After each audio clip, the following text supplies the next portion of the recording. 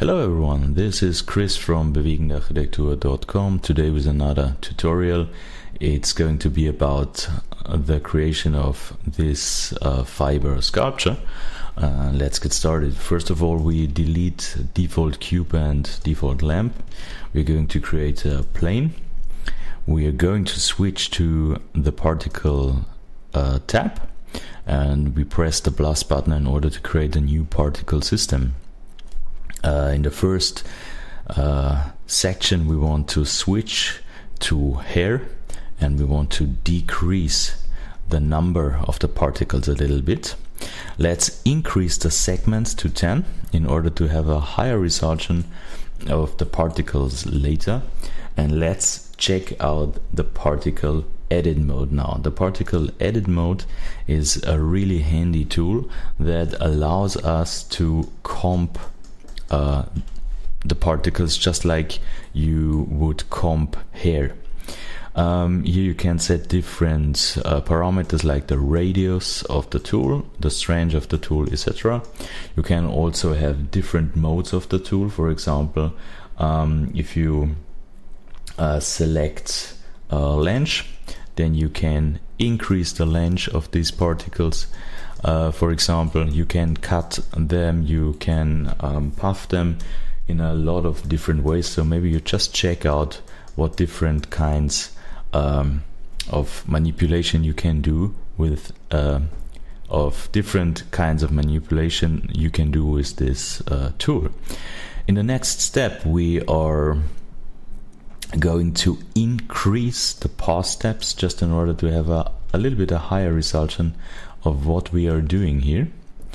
And maybe this looks quite okay at least from at least from this angle.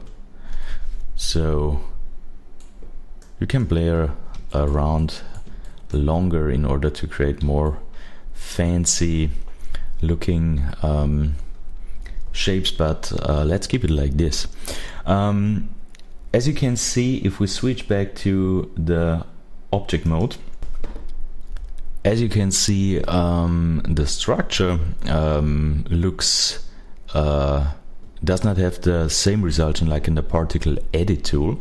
So what we have to do is we have to go to the view display uh, section and we have to increase the strand steps to 10 or to a higher number also here.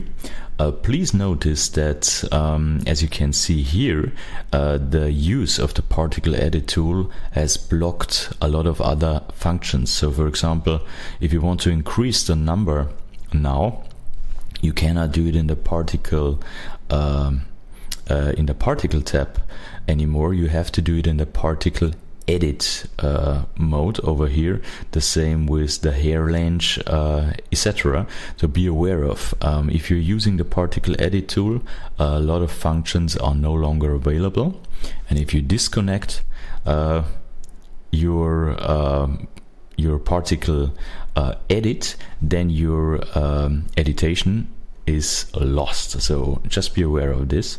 Um, we want to manipulate uh, this structure further uh, but not in the particle edit uh, tool, but with uh, the mesh editing tool. So what we have to do here is we have to switch to the modifiers tab. We have to click convert in order to create a mesh from our particle system.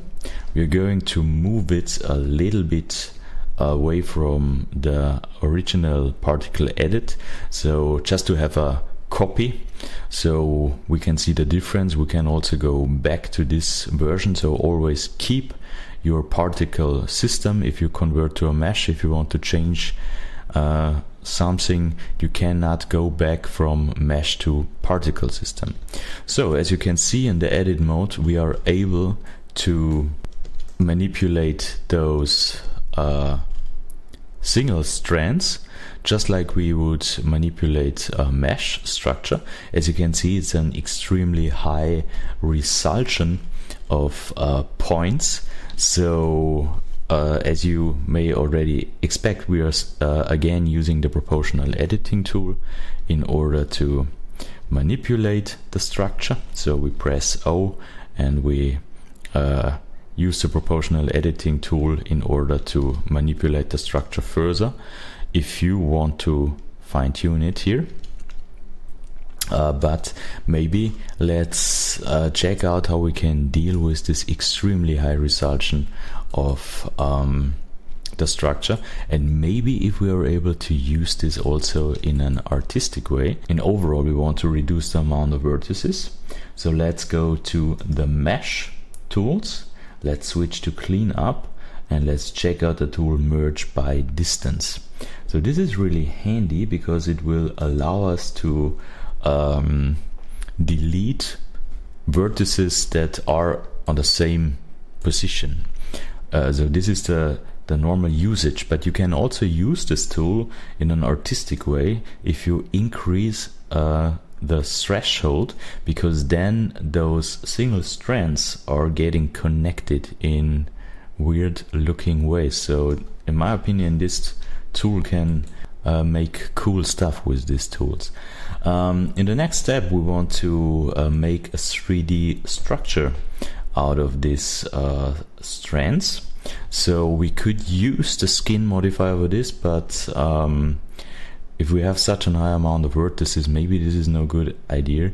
So what I'm doing is simply select everything. I'm going to extrude it a little bit in one direction and I'm going to give the whole structure a solidity phi modifier just to give it a little bit uh, of thickness and as you can see it uh, is becoming uh, there are some interesting situations at least in my opinion I'm going to apply the solidify modifier um, and maybe let's try to use um, the flatten tool in order to create a little bit more variation in the structure.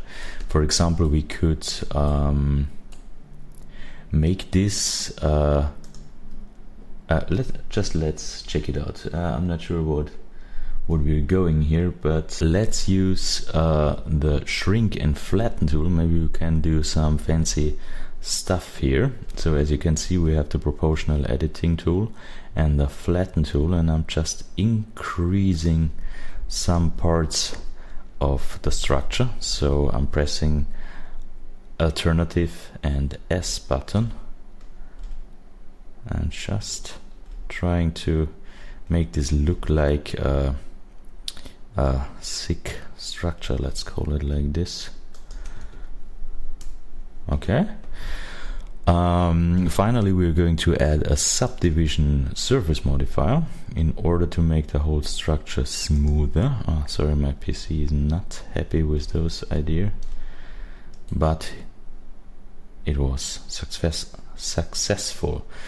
So, not from every position, but uh, in the detail, there are some, um, in my opinion, cool situations. So if you look here, there are these. It looks like I don't know how to to to call this. It looks looks a little bit like guts or or something like that.